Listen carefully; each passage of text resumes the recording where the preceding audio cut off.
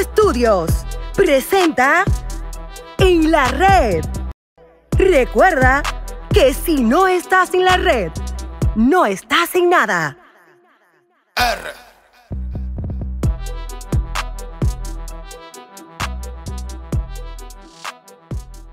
Señores, estamos activos aquí en la red. Claro que sí, pasándola de maravilla detrás de cámara porque estamos como activando la energía para transmitírsela a todos ustedes allá en casita porque mira qué chulo es tú llegar a tu casita cansado, ponerte al día y luego prender el YouTube y ver todo lo que nosotros le vamos a estar trayendo de informaciones de verdad para que todos ustedes disfruten en casita. Mis amores, estamos activos en el Instagram 19.2 seguidores. ¿Cómo se dicen? 19.2 mil seguidores, seguidores. Exacto, casi rumbo a los 20 mil. 20,000. De verdad. Muchísimas gracias por el apoyo. Nos sentimos felices de que ustedes estén consumiendo un contenido de calidad. Y esta noche, mi amor, tenemos un tema eh, bastante importante, Sí. Marlon, diría yo, que hay que ponerle mucha atención. Un tema muy importante que el fin de semana estuvo arropando las redes sociales Sí. y evidentemente nosotros no podemos ser la sección y hablar de lo que está pasando con, con, con Jorge Estrella, eh, este personaje que duraron, no un personaje, este delincuente, porque hay que decir la verdad, aunque no nos podemos llenar de sentimiento porque muchos, y me incluyo de los que trabajamos en esta plataforma, tuvimos la oportunidad de estar en algún momento con él.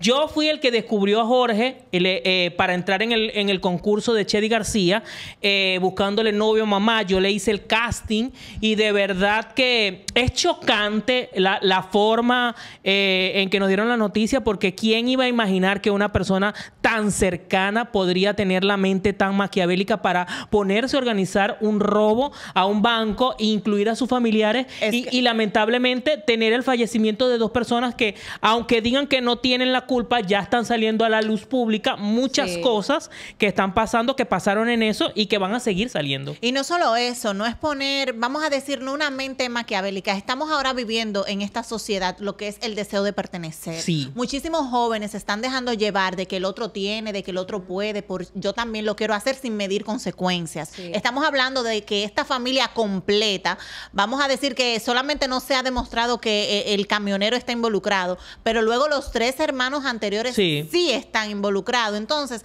es una familia donde no hay que tenerle pena. Ellos se sentaron a planificar algo que muchas personas hoy en día lo están justificando. Miren, Sí. señores, pusieron, me voy a tomar eh, de, de decir esto, miren, hicieron un, un, eh, un- Un esquema.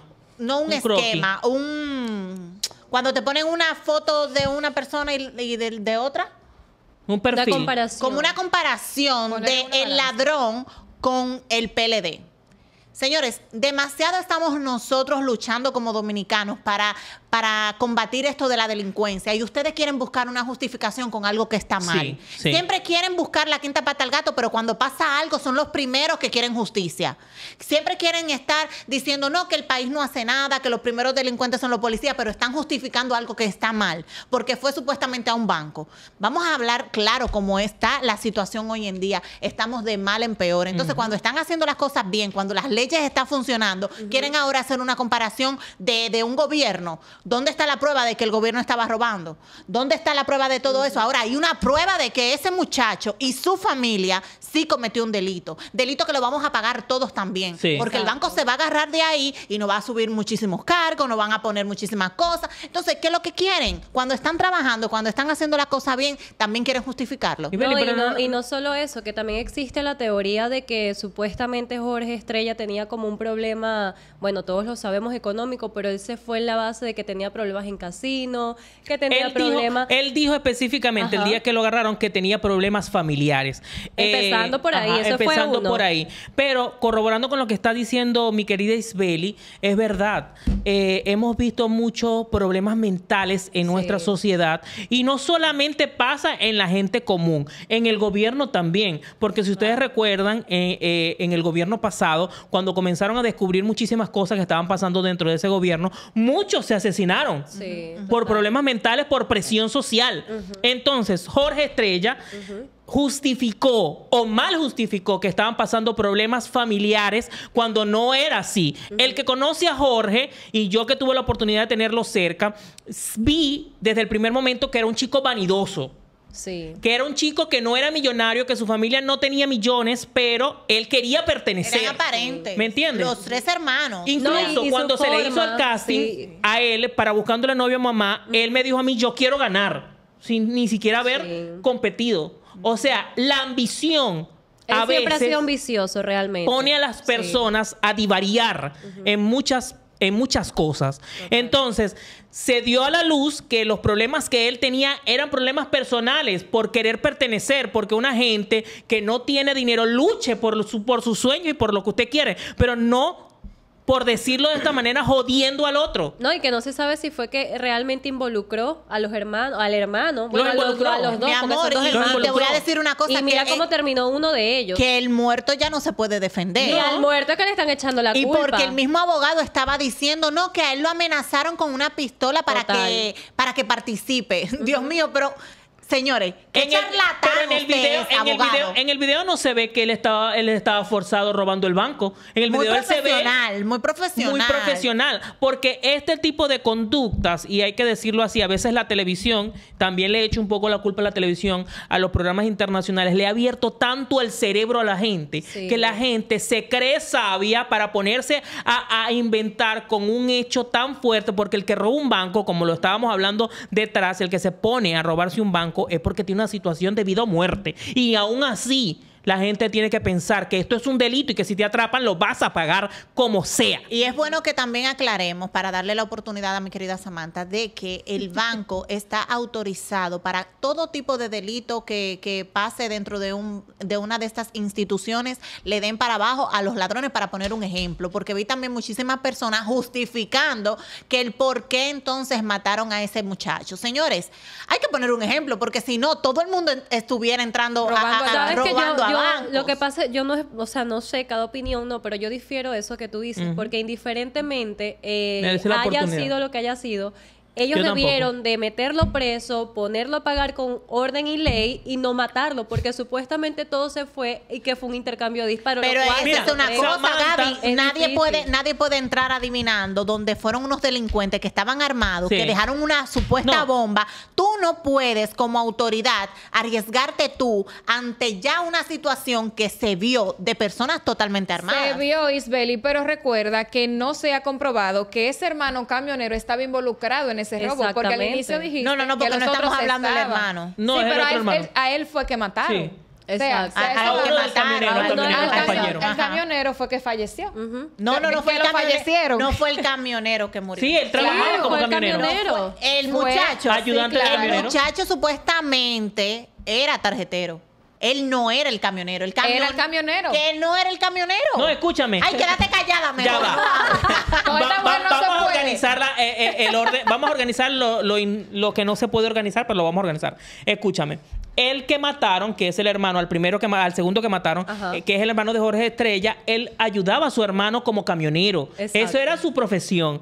Ahora, en, en- en- en su segunda profesión era Era- tarjetero y también Supuestamente. participar dentro del delito que cometió Jorge Estrella. Exactamente. Entonces, eh, yo te iba a dar la palabra a ti. Yo sé que Samantha no se quiere mezclar un poco porque ella también es cercana a Jorge Estrella. Qué Llévense casualidad. la presa. Ella, ella es una de las personas también que ha convivido con, que, que corrobora lo que yo estoy diciendo, que no lo estamos inventando, porque, señores, la gente tiene una confusión mental. Que tú seas bonita o que tú seas bonito no, no te, No te da el el privilegio de creer que tú tienes razón en cosas que no están justificadas. Exacto. Como por ejemplo un delito. Y eso es lo que pasa con Jorge Estrella. La gente se está matando. Ay, pero ¿quién iba a pensar? Señores, en el cerebro de nadie, toda, cada No. cabeza es un mundo. O si no, ¿cuánto es la fianza? Mira, la gente es descarada. Pero no te vayas lejos, mi amor. Ellos hicieron una comparación de que la cárcel ahora está deliciosa. Pero dime, van a ir pero a está pasando? Dime mi amor, pero le hicieron fila a chiquito. chiquito. Mira, escucha, ella dijo algo muy importante, que la gente no, eh, que tú no le dabas la razón para que mataran a alguien. Yo tampoco le doy la razón, pero tampoco eh, vivimos en una sociedad tan distorsionada Total. que lastimosamente ese tema que tú estás diciendo, la gente lo ve como morbo y, lo- y, y empiezan chiquitos entrando a la cárcel, ya él era famoso aquí, que todas las mujeres, y que una fila de mujeres. Pero eso es lo que me sorprende. Entonces, aquí las personas critican al que está haciendo lo correcto. Exacto. Porque un ejemplo, ante los ojos de muchas personas, nosotros somos Pokémon de- desbloqueados. Ajá. Pero estamos dando informaciones importantes a todos ustedes, o sea, contenido de calidad, pero no nos apoyan.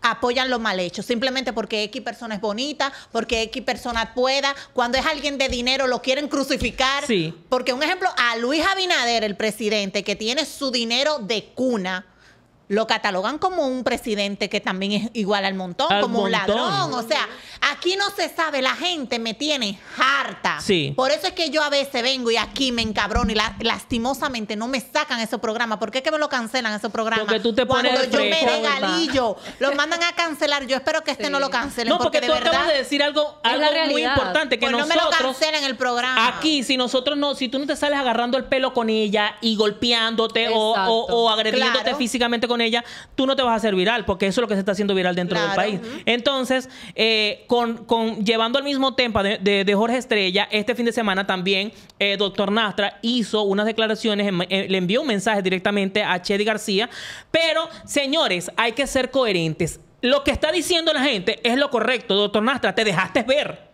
Se nota que ahora sí, sí le tienes dema a, a Chedi, porque simplemente Chedi dio una opinión de alguien que estuvo cerca de ella, Exacto. como lo estamos haciendo nosotros. Como la daría yo. El delito es igual para todo el mundo. Jorge tiene que pagar por lo que hizo, igual que tu hijo, porque no es porque el bueno eres tú. Doctor Nastra sí es bueno, se le aplaude, es un profesional, claro que sí, pero tu hijo no, tu hijo es un delincuente, porque no hay que olvidar que Joshua Fernández también perdió la vida en, en un hecho. Exactamente, ¿Me que a mucha gente se le olvida ese Entonces, tema. está pagando, chévere, pero aquí la gente que trabaja en televisión y que tiene dinero quiere forzar todo. Jorge Estrella tiene que pagar por más bonitillo que él sea. Y no porque él sea mi compañero, yo no, yo voy a decir que ay, él era bueno. No, no era bueno.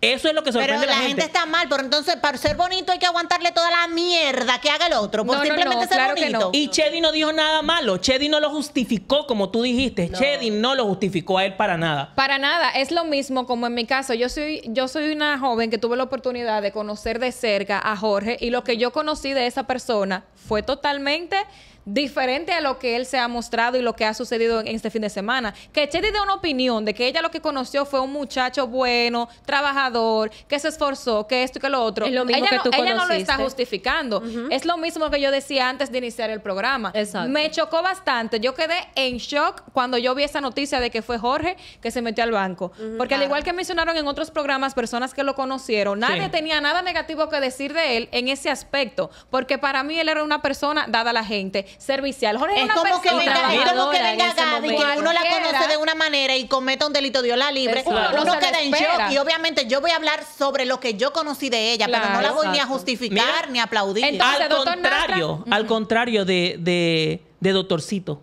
De Doctorcito nadie habla bien. Todo el mundo dice que se la pasaba de discoteca en discoteca, que se la pasaba vendiendo a sus amigos, porque también hay que tener una mente maquiavélica para, Claro, para vender a un amigo tuyo sí, por sí, prendas y dejar y mandarlo a robar. sin necesidad. Sin necesidad, porque evidentemente como tú trabajas también, doctor Nastra, que se aplaude, no lo estoy criticando, pero tú también querías lo mejor para tu hijo. ¿Y qué hizo tu hijo?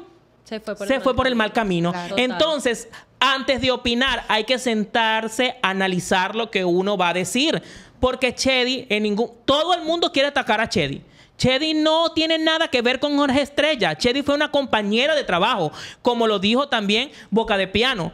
Todo el mundo lo conocía a él porque por- eso es la sorpresa. Que una gente que tú crees que es una persona que lleva una buena conducta, que no tiene ningún tipo de antecedente de, de delictivo, te sorprende. es Pero como yo también, ¿me entiendes? No nos Claro, es vayamos como más pasa- lejos. También eh, desviando un poco el tema, lo que pasó ayer, que hoy es que hoy es lunes, el día domingo, eh, pasó algo muy lamentable con una persona. Ella se llamaba Lian Guerrero Bobadilla. Eh, ella era una persona que estaba llegando a su casa, a su residencial, estaba con su hija menor de 10 años. Y cuando ella llega a su casa, la estaba esperando su expareja, ex miembro de la Policía Nacional. Ya lo sabes. Que ahí es donde yo voy. Indiferentemente tú puedes tener los modales que tú quieras, la enseñanza que tú quieras, pero tú nunca vas a terminar de conocer a una persona. Una persona? Esa persona le dio seis tiros a su expareja delante de su hija y se informa también que él estaba acompañado de una persona, de una mujer. Wow. Que esa mujer desapareció, nadie sabe Nadie de sabe ella, quién es. todo ni nada. fue un Hasta que salgan los videos. Entonces ahí es donde yo voy, ahí es donde- lo que yo digo, o sea, ¿cómo puede, eh, ¿cómo puede ser capaz la mente de una persona llegar tan allá, hacer tanto daño? No solo en robos, no solo en, en los daños que puedan hacer materiales, pero este tipo de cosas que se ve mucho aquí en República Dominicana, se pueden ver en otros países, pero aquí es el más alto lugar de feminicidio. Y nosotros vivimos en Y República nosotros Dominicana. vivimos acá en República Dominicana y es muy fuerte que este tipo de situaciones estén pasando y tan continuo. O sea, esto cada vez se está sumando más y más y más. O sea, lo que y no pasa se es que no quieren darle prioridad a lo que es la salud mental. Eso Y es eso muy Hoy en día, hasta las personas más bonitas, como ustedes quieren ahora justificar a los boniticos, Ajá. hasta el más bonito que usted ve, señor, está pasando Tiene por una mentales. situación. O sea, Total. luego de lo que pasó de la pandemia, yo misma me incluyo, yo estaba falseando mentalmente. O Es sea, que para nadie, para nadie es un secreto el nivel de estrés, uno Claro. estar trancado, uno casi no hablar con las personas, uno sentirse mal, cuando uno tiene familia afuera, todo eso influye. Es que mira, como lo, lo- lo dije, yo como productora hago el mínimo esfuerzo para hacer un contenido jugoso que a la gente le guste, pero yo siento aquí a una psicóloga y no les gusta. No les gusta Sí, el contenido, claro, no no lo le- quieren no- no correr. quieren escuchar Pero viene una gente con problemas mentales porque los problemas mentales sí existen y lo tenemos Claro, latente total. hasta en los medios de comunicación. Los tenemos vivos. Muchas personas narcisistas, con narcisista, problemas mentales, egoístas. egoístas. Todo eso influye. Entonces ahí tenemos a Melvin. Volvemos al tema de Melvin también. Melvin tiene problemas psicológicos que Y tienen que ser tratados. nadie lo quiere porque no es posible de que si yo te estoy hablando aquí así, de esta manera, De buena primera yo no tengo que venir a gritar ¡Favor! Para que tú me puedas escuchar en tu casa. No, señores. Tenemos que combatir el problema de, de- de los problemas mentales que hay dentro del país No, y y hay la que gente lo discutirlo. apoya. Y no solamente eso, volviendo al tema que Gaby mencionó de esta joven que lamentablemente perdió la vida, es que los valores empiezan en el hogar. Tanto en los hogares de personas pudientes como los no pudientes, se ve algo. El que no pu- el que tiene muchos hijos, que es de escasos recursos, no puede criar a su hijo porque le toca trabajar. El hijo se cría solo en un barrio quizá marginado, que ve cosas que no tiene que ver a su edad, comienza a, eh, a experimentar cosas que no tiene que experimentar. Así como también los hijos de papi y mami, los que sí tienen dinero, los padres tampoco le prestan atención ni le inculcan los valores necesarios a esos niños para que cuando sean grandes, pues ellos sean unas personas responsables de las Sí. cosas que hacen, Total. no le brindan el amor que necesitan, no- o sea, no no está bien de ninguna de las dos partes. Yo creo que en el hogar es que se centran las cosas que, que nos, nos ayuda a nosotros como adultos, pues, a, a- a ser mejores personas. Porque si nadie te lo inculca, hay, hay personas que lo crían la trabajadora. Es que nosotros Doméstica. estamos, noso- bueno, digo nosotros porque ya per- pertenecemos a, a este- a esta época, Sí. pero nosotros estamos malcriando a nuestros hijos. Exacto. ¿Me entiendes? Porque yo soy del- de, del- de- de los 80. Yo nací en el 89, pero a mí me daban palos si yo hacía algo malo. si yo, si yo llegaba es que- con un lápiz en la escuela, a mí me regresaban otra vez a regresar el lápiz. Ahora no, señores, ahora los niños los están criando y Beli que corrobore con eso, que también tiene la oportunidad de crear un niño, que no les están inculcando los, los reales valores que tiene que Pero tener no te una vayas sociedad. lejos, Marlon. O sea, algo de lo que a mí me ha estancado más aquí a este país, de no irme a vivir fuera, porque prácticamente tengo toda mi familia fuera de aquí, es que allá tú no puedes darle una pela a un niño porque si no te llama la policía. O sea, desde ahí ya estamos mal. Y por Porque eso es que hay tú tantos problemas puedes, allá. ento- y, y todos los problemas de niños que entran a la Ajá. escuela a matar a otro por el bullying que le hicieron. Eso. Porque tú no puedes poner mano dura, porque simplemente tú que duraste nueve meses con un niño en la barriga, si le pones la mano porque hizo algo mal, te llaman a la policía. Mira, yo cojo y le doy al muchacho y a la policía y al otro que venga y se meta. Lo que Mira, pa- yo, te- yo no justifico la violencia. Ajá, eso porque iba a hay un decir yo. punto. No, no, no hay, que, no hay que llegar a lo violento. Porque, por ejemplo, mi hijo tiene 11 años y yo nunca le he dado una pela. Muy bien. Yo no justifico Ay, la a mí violencia. sí, a mí me porque dieron muchas- pelas, pero yo no, eran por tonterías. pues. Pero porque yo no se la doy la pela, porque yo le digo, Kevin, esto. Kevin, eh, él Porque sabe si me eres- llega a la 3, se jodió. Porque tú eres una madre responsable que estás pendiente de tu hijo y tú le pones límites. Si tu hijo no cumple ese límite, pues eso va a traer una consecuencia Claro. que no necesariamente tiene que ser una pela, un golpe o algo por el estilo, para nada. Total. Ahora, últimamente hay muchos padres permisivos y eso es lo que, lo que hace que los niños hoy en día estén como estén. Por ejemplo, fíjate, antes un niño pequeño de uno o dos años, eh, su juego eran jugueticos, muñequitos, la muñequitos. cosa. Ahora, ¿qué hacen los padres para salir? Una de que tableta. el niño deje de estar fastidiando y se el Le dejan el teléfono tres, cuatro, cinco horas. Miren, estos días debajo de mi casa yo quedé sorprendida. Llega una vecina con su hijo, con su, un niño súper chiquito, yo creo que no tiene ni dos años, pero el niño ya camina y andaba con su tablet. La mamá se fue, o sea, ya ella estaba entrando al apartamento, al edificio, y el niño todavía estaba en el medio del estacionamiento con la tablet. Y ella juraba que el niño estaba con ella. Entonces el niño, y ella le hablaba, Emanuel, ven acá, ven, ven. Y el niño le dijo, cállate. No, muchachos. Esas son cosas que yo digo, ok, tú estás aceptando todo esto, pero siempre va a llegar un momento, un punto que van a pasar este tipo de situaciones que están Así pasando es. actualmente. Y después tú vas a decir, pero ¿por qué fue que pasó? Ahí es que están las consecuencias, Sí. no fueron de ahora, fueron de años atrás que tú aceptaste todas esas cosas que tu niño o tu hijo es hoy en día. Sí, volviendo al tema eh, de el padre de Jorge Estrella que estu- estuvo justificándose de- en algunos en algunas entrevistas que le hicieron, bueno, no entrevistas, personas que lo grababan en la calle y le preguntaban sobre la educación de Jorge Estrella. Señores, ahí es donde está el problema. Sí. O sea, hay hay que estar muy atentos porque ahora hay un hijo dos dos personas muertas Total. que tienen 25 años, que no tienen en el cerebro ni la capacidad mental, sí la tenían porque Sí se la involucraron. sí. Jorge Estrella Bueno, quiere amor, limpiar la, la memoria. A planear algo. Jorge Estrella quiere limpiar la memoria de su hermano y decir que él no tuvo, pero a- hace pocas horas salió el, el dueño del rentacar diciendo que sí, que él fue a buscar el carro. Entonces, señores, hay que sentarse a analizar. Los problemas mentales están acabando con la sociedad y no nos estamos dando cuenta.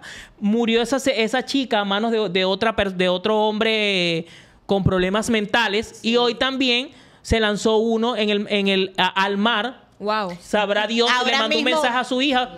Entonces yo que- digo, wow, estamos fuertes con eso. Ahora mismo que estaba con el celular, era viendo si veía alguna noticia acabadita de salir, porque así uno aprovecha el bloque. Y vi que cuatro empleadas de un supermercado de San Juan de la Maguana robaron 3 millones de pesos del supermercado. O sea, Wow. estamos mal ahora mismo como sociedad.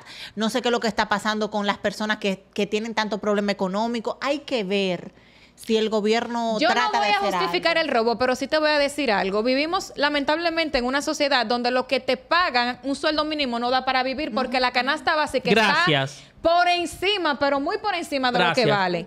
Eh, las personas que tratan de emprender, los mismos impuestos no te permiten emprender. Si tú no estás dentro de los temas de la ley con un negocio que tú quieras poner nuevo, si tú no sacas el tema de los impuestos, te Ya jodiste, van y te cierran el negocio. Total. Si tú quieres tener un letrero, aunque sea un salón que tú pongas en tu casa, tú tienes que pagar impuestos por ese letrero. Y adivina cuánto, Eh, mucho. Entonces, señores, realmente la situación en este país está muy difícil. A mí me apena muchísimo. Ustedes como venezolanos que tuvieron que salir de su país, que los mismos dominicanos estén diciendo como, wow, yo tengo que dejar mi país, que yo sé que para ustedes eso fue muy difícil. Sí. Tener que alejarse de su familia y todo. Y nosotros vamos por el mismo camino, porque, óyeme, por más que tú, tú puedes tener un horario de 8 a 5, después que tú llegues a tener un negocio y que el negocio no se te dé porque a ti no te da para vivir. O sea, Pero tenemos que, hacer algo pero con que eso. esos temas nosotros los tocamos. Traímos a Fernando aquí Ah, sí. cuando estaban en plena eh, campaña, Campaña política, política, y no le hicieron caso. Para porque- ¿Por qué nada. lo ven como un loco? Ajá. Al que te Eso, habla eso cuerdo, lo ve. Tú ves a Karim, la gente lo ve como un loco. Y Karim Y es súper tiene cuerdo. mucha razón en muchísimas Aquí cosas. necesitamos un Bukele. Ay, por favor. Mira, Por favor. aquí necesitamos es que el gobierno tome cartas sobre el asunto y se ponga a trabajar. Aquí no Querían se sabe ganar cuatro aquí años no más, se ya sabe lo tienen que los se va cuatro a más. necesitar, porque mira el mismo Ramón Tolentino, una persona que ha dado, que ha puesto hasta su vida, Su en, vida en riesgo y todo. Que está en riesgo ahora Está mismo. en riesgo, o sea, aquí ya no se sabe lo que se va a hacer. Lamentablemente aquí es sálvese quien pueda. Y volviendo a lo mismo. del tema de la salud mental, bueno, es algo, un punto que también en mi cabeza puede surgir, pero la tuya nunca va a surgir en la de ustedes, es muy difícil. Pero ahora el tema de la educación ha cambiado muchísimo, o sea, ha cambiado demasiado. Y así como ha cambiado, deberían de implementar en las escuelas, en los colegios, desde muy pequeño, hacer ese tipo de cambio e inculcar la educación mental, la salud mental Sí, es muy total. importante porque ya los tiempos han cambiado, ya uno se tiene que adaptar a lo del teléfono y todo lo que uno ve en las redes sociales, indiferentemente, eso enferma, porque Total. uno busca compararse, uno busca eh, verse como esa persona que está viendo aquí, cuando esa persona que están viendo aquí es cero de lo que se muestra, es una Sí. persona A veces, totalmente a veces uno le da fama, eh, idolatra a personas que tienen más problemas que tú. Exactamente. Tienen problemas mentales que tú no la tienes. Quizá han pasado situaciones que tú ni ideas tienes y tú mismo le estás dando un, un- un- un valor la cual A ni lo persona. O sea, de verdad estamos mal como sociedad, debemos de buscar ayuda, apoyo. Muchas personas tú le dicen, pero ve a un psicólogo, lo que dice yo no estoy loco. Señores, Sí. buscar ayuda a un psicólogo no significa que tú estás loco, sino es buscar una orientación y también un camino o una luz dentro de la oscuridad donde tú estás. Señores, estamos aquí también nosotros disponibles para cualquier tema, para cualquier eh, desahogo que ustedes tengan como jóvenes, porque queremos marcar la diferencia Sí, hasta en total. eso. Debemos tomar en cuenta y muy en cuenta, señores, y dejar de pensar que ir al psicólogo es porque estás lo es porque estás loco, como dices tú. Ir al psicólogo es tan sencillo como tú ir al médico por un dolor de estómago. Estás enfermo, entiéndanlo. Si te sientes mal, si lloras todas las noches, no sabes por qué. No duermes porque tienes ansiedad. Son temas que tú debes, debes de tratarlo porque hay algo que a lo mejor a ti te está angustiando y tú no sepas qué es y no lo identificas. Al igual que como tú vas por un dolor X al médico y el, y el doctor te dice, ok, vamos a hacerte este análisis, este y el otro para identificar qué es lo que tú tienes. Es lo mismo. Debemos de normalizar eso. No, Claro, porque y tú ahora puedes estar bien, pero quizás en tu niñez tú pasaste por un trauma que tú ahora no lo recuerdes, pero Sí. con las preguntas que te está haciendo la persona que sí es profesional pueden llegar al problema. Pero es que es más fácil yo coger y llamar a una amiga Y decirle, ay, que me, me votó fulano y no Y puedo la amiga más loca que ella. más loca que tú, con problemas que quizás no tiene ni una relación estable y lo que te va a poner a ti a hacer cosas peores. Exacto. Porque yo no me llevo de consejos de personas ni menos que yo, ni que han logrado nada. Para yo llevarme de un consejo de alguien es porque yo le estoy viendo resultados y siempre lo he dicho. O sea, yo lamentablemente me pueden llamar interesada, lo que quieran, pero yo de personas que estén por debajo de mí, mi amor, usted su consejo se lo come, porque si el consejo fuera bueno, no me lo dieran, me lo vendieran. Así Y, yo- es. y también hacerle un llamado a todo, a todas las familiares, como tú dijiste, lo de la salud mental, no es solamente ir eh, tú solo, puedes ir en familia, porque también los, pro- Claro. los problemas Sí, sí. se, se- no se, se arreglan en familia, en unión familiar. Por eso es que hay tanto desorden ahorita, tantas personas matándose, asesinando a otros, y el gobierno ya tomar cartas sobre el asunto, porque ya les dieron la oportunidad de estar otra vez eh, trabajando para el pueblo. Ahora pónganse a funcionar, porque lo que vivimos en República Dominicana es una realidad. Estamos, como dijiste tú, estamos pasando perdón, por un momento muy difícil en donde el sueldo no te da ni siquiera para la canasta básica. Sí. Yo lo estoy viviendo por mis propios problemas, mis propias situaciones, que soy extranjero. Imagínense el dominicano. Porque el extranjero que está ahora mismo aquí en República Dominicana hacen de todo. Salen a vender agua, salen a vender chupetas, salen a, a- a lo que sea por solamente tener un sustento. El gobierno tiene que tomar cartas en el asunto porque se le está escapando y no hay una voz. Es lo que dice Ramón Tolentino. Tienen que salir a dar la cara y hablar y a decir qué es lo que está pasando con la justicia del país, porque por eso estamos viendo tantos hechos. Gracias. Me Bueno, señores, eh, si no quieren agregar algún otro tema, Por el momento no, pero Por el momento vamos a seguir Por el- investigando sí. todo lo que pasa en red porque usted tiene que estar siempre en la red. Y si tienen también algún tema, alguna denuncia o se siente mal y quiere desahogarse, señores, estamos aquí disponibles para, para lo que Sí. sea. De verdad que nosotros queremos hacer la diferencia dentro de la sociedad, dentro de los medios de comunicación y no nos pesa eh, aportar con este medio que por algo Dios nos, está dando esta oportunidad es. y queremos de verdad aprovecharla. Y para cerrar con esto, Jorge Estrella es uno de los tantos que hay dentro de los grupos sociales también con mentes distorsionadas y también tratando de encajar. Sea usted mismo, si usted no tiene dinero, luche por su sueño, que se les va a dar. Todo en la vida se da, señores. Todo, la oportunidad no te van a llegar a la puerta de tu casa. Tú tienes que salir a buscar No, y la siempre, oportunidad. siempre y cuando hagan, hagan el bien, porque indiferentemente uno siempre va por un objetivo, pero siempre tienes que pensar en los pros y los contras de lo que puedas hacer. Y si tú piensas en hacer las cosas positivas, aunque se tarde, en cualquier momento te va a llegar, porque las cosas buenas y las cosas que Dios te pone en el camino siempre te llegan. Amén. Y también Amén. depende Y- mucho de la persona que tú tienes a tu lado. O sea, Así es. búscate amistades que te sumen, que no te resten, que te lleven a hacer lo correcto, que te aconsejen. Yo tengo amigas que incluso yo a veces digo, conchale, pero me, me aconseja más que mi madre, un Sí. ejemplo. Sí. Me jala las orejas. Y es así que tú te tienes que rodear de personas buenas, porque una manzana podrida, mi amor, Daña te la daña otra. la, el otra. grupo. La, la que, la- las amigas que ustedes tienen que tener, ustedes en casita y ustedes aquí, son esas amigas que les mandan lo que nosotros publicamos en nuestras redes sociales, arroba en la red oficial. Y también esas amigas que te dan follower y te comienzan a seguir y están pendientes de todo el contenido en la red. Porque recuerden ustedes, señores, que si no están en la red, No estás en nada. Crow Studios presenta En la Red. Recuerda que si no estás en la red, no estás en nada. R.